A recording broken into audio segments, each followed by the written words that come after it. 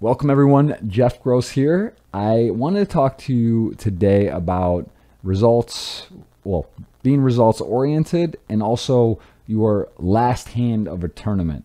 It's something that I've noticed a lot. I've noticed in myself in the past, more so because I've been more aware of it recently, is oftentimes being too results oriented and also looking at a last hand. So if we're talking tournament poker, generally your last hand is what you focus on or dwell on. Oh, I lost ace king to ace queen all in preflop for 12 blinds. I'm unlucky. Oh, I got it in with uh, tens to jacks. That was a cooler for 20 big blinds each. Well, guess what? Almost always the last hand of your tournament is not where your tournament is won and lost. Yeah, sure, you may lose in a blind on blind for 25 blinds in a kind of cooler situation. Maybe you, you get set over set. Uh, these type of things happen. But tournament poker, winning the uncontested pots, winning the blind on blind battles, picking up a raise on the button, these all these little things that you may think trivial, that that is where the game is won and lost. Building a stack on the bubble, building a stack with two tables left, three tables left, taking a risk, taking a chance, shoving, open shoving 25 blinds with queen jack in the cutoff because of the other stack sizes and the you know the bubble. These are the hands that ultimately will allow you be, to take coolers. You don't think the best players in the world, the, the, absolute super animal crushers, whoever that is to you, the wizard, sorcerer, the best you think in the game, they're taking spots. They're creating chips. They're creating their own luck. Luck is when preparation meets opportunity. And guess what? Your last hand that is not that that may be lucky or unlucky.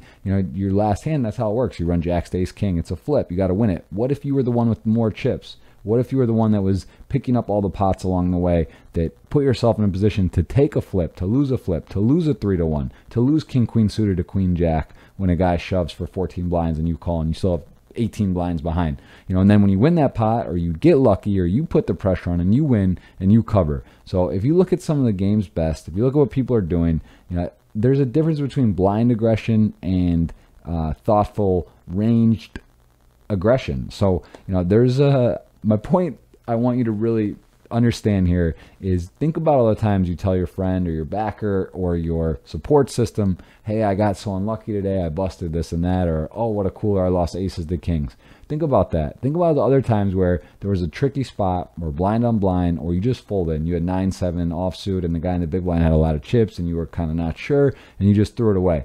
Think about these spots where you could have raised, you could have limped, you could have limp raised, you could have limp called, check raised the flop, you could have uh, set yourself up, you know, found a bluff, found a good fold. Those those times where you hero call, uh, where you don't, or when you when you make a bad call, when you know you're beat, but you, just know it. You're like, I this guy could never be bluffing here based on how he plays, and you got a pretty good hand. You're like, I got to see it.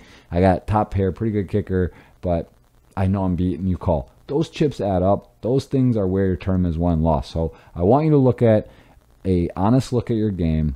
Think about if you do that, and think about it's okay. You're listen, losing an unlucky hand or a cooler is not fun, but think about all the other spots and realize that tournament poker comes down to this: Are you finding ways to pick up chips in spots that your opponents aren't? And for the vast majority of players, including myself at times, you know, I'm guilty of uh, of, of not going, you know, of of passing up some pretty close spots or not studying and looking, oh, I could have, I should have shoved this spot or it's close. So I just want to invite you to be open to that possibility of evaluating your game, being honest with yourself, not being results oriented, not looking at that last hand and taking a deeper dive at your game, where you can improve and what you're not doing.